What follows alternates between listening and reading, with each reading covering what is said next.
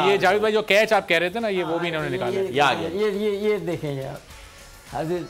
ये ये भाई ये वाह क्या टीम वर्क है ये? भी वर्क अभी स्लो मोशन ये भी हारिस ही है। ये भी मोहम्मद हारिस है ये। ये भी हारिस अच्छा, है। ये हैं ये बड़े बेहतरीन विकेट कीपर है लेकिन हाँ, कामरान अकमल ये- जब नहीं होते तो ये विकेट और बिल्कुल लास्ट मोमेंट पे देखिए इन्होंने एक हाथ से ये इसको कहते हैं कि आई ऑन द बॉल हाँ वाकई। फ़ील्ड में कमिटमेंट है। आई ऑन द बॉल हो तो आप कुछ भी कर जाते हैं। मार या डाइव और ले गया बॉल ये फ़ील्ड का इनका एक्सपीरियंस भी होता है। बॉल पकड़ने का तजुर्बा है कि- ये किस तरीके से फ़ील्ड के अंदर जो है वो थ्रो और वो जो फील्डिंग का आप बताते हैं कि फील्डिंग की भी प्रैक्टिस करो तो उन्होंने बॉल के ऊपर से नज़र को हटने नहीं दिया। मैं बता दूँ इसको जॉन होना रोज। जॉन की रोज एक दो घंटे अलग से अपनी प्रैक्टिस करता था। That's why he was one number ये देखिए आप भी कर रहे हैं प्रैक्टिस ये मैन ऑफ़ द कैच मैं ये कैच देखने के बाद ही तो प्रैक्टिस कर रहा हूँ। मुझे लग रहा है। बॉल पे नज़र बॉल पे नज़र रहनी चाहिए ये मैं कहता हूँ। वर्ल्ड में ना नंबर वन है इस वक्त। बिल्कुल।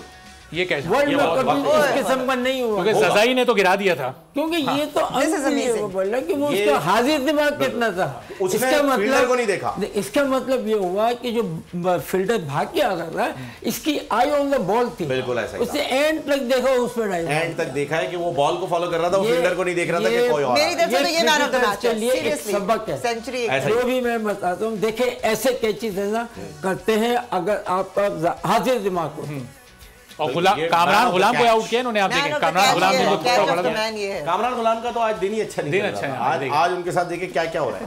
ये एक क्रिकेट की हिस्ट्री का अनएक्सपेक्टेड कैच भी ऐसा कभी हुआ दुनिया में नहीं हुआ है। हाँ। बिल्कुल बहुत हालाँकि ये अपकमिंग लड़का लग रहा है मुझे। ये नया लड़का है ये हारिस। हारिस। ये बाद में जाके रिलैक्स हो जाते हैं। शुरू में अच्छा खेलते हैं। कामरान थे ना? हाँ, कामरान जब नहीं थे तो उनकी जगह पे विकेट कीपिंग यही कर रहे थे। आज बैटिंग में बड़ी अच्छी इसने